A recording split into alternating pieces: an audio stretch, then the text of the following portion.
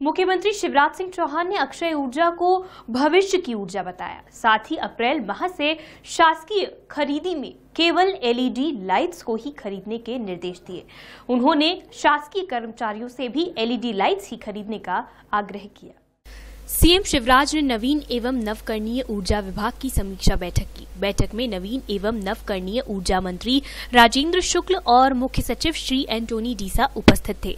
मुख्यमंत्री ने बैठक में सिंचाई कार्य में परंपरागत ऊर्जा के स्थान पर अक्षय ऊर्जा के उपयोग के लिए किसानों को प्रेरित करने की आकर्षक योजना बनाई। जाने पर ज़ोर दिया। उन्होंने घरेलू उपयोग में भी अक्षय ऊर्जा का उपयोग बढ़ाने के प्रयासों पर बल दिया।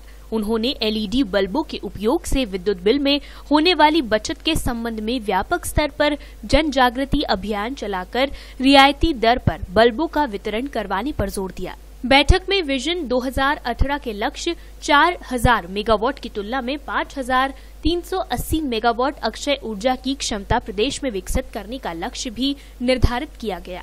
Bureau report, D live news.